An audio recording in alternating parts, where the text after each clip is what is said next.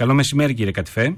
Καλό μεσημέρι κύριε Νιάκα, σε εσάς και στους ακροατές. Με αφορμή λοιπόν αυτή την επιστολή του Δήμου Νέας Μήνης, ε, ε, υπάρχει ανησυχία σε πολλούς γονείς ότι και άλλοι Δήμοι της χώρας θα κινηθούν σε αυτή την κατεύθυνση. Έχετε εσείς αυτή την εκτίμηση, θα πάμε δηλαδή στο χειμώνα με τα παιδιά να πηγαίνουν στις αίθουσες με κουβέρτες σε όλη τη χώρα; Κοιτάτε να δείτε. Ε, η εξέλιξη στη Νέα Σμύρνη δεν είναι ένα μεμονωμένο γεγονός.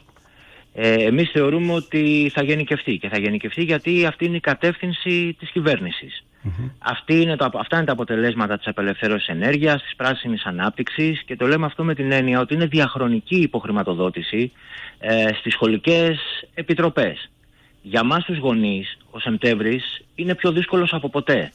Ε, γιατί πέρα από το ενεργειακό κόστος που έχουμε να καλύψουμε και εμείς για το σπίτι μας ε, είναι και η τεράστια αύξηση ε, στα σχολικά είδη. Να σας φέρω ένα χαρακτηριστικό παράδειγμα. Ένας Δήμος, για παράδειγμα, από τα χρήματα που παίρνει για τις σχολικές επιτροπές, πρέπει να καλύψει τα λειτουργικά έξοδα των σχολείων, η κάθε σχολική επιτροπή, που μέσα εκεί μπορεί να είναι ε, και η θέρμανση, μπορεί να είναι ο φωτισμός, οι λογαριασμοί δηλαδή, αλλά μπορεί να είναι και η υλικοτεχνική υποδομή, όπως το χαρτί φωτοτυπίας. Mm-hmm. Δυστυχώς, στα περισσότερα σχολεία ζητάνε από τους μαθητές, άρα από τους γονείς, να πάμε εμείς στο χαρτί φωτοτυπικού, το οποίο έχει διπλασιαστεί σε σχέση με πέρσι. Ε, να σας πω χαρακτηριστικά ότι ε, αν θυμάμαι καλά 133 δις πήραν πέρσι ε, μέσα από τέσσερις σχολικές δόσεις οι σχολικές επιτροπές που πραγματικά με επιτραπή έκφρασης δεν έφταναν ούτε για ζήτο.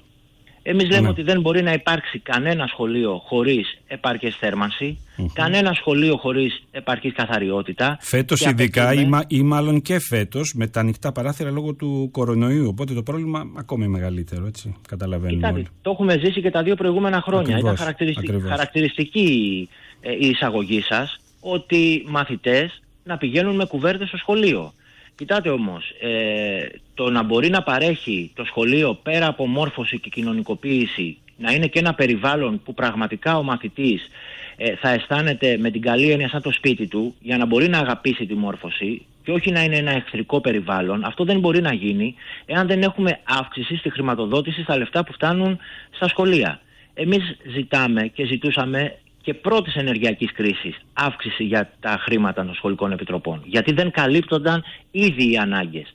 Δι σήμερα που θα είναι πολύ πιο δύσκολη η κατάσταση και γι' αυτο ζητάμε και έκτακτο κονδύλι ε, για να μπορεί να καλυφθεί η θέρμανση. Πάντως, για ένα να είμαστε σίγουροι ότι εμείς οι γονείς δεν θα ανεχτούμε να μετακυληθεί το βάρος στις πλάτες ούτε των συλλόγων γονέων ούτε των γονιών για να καλυφθούν ανάγκες που είναι ευθύνη του κράτους.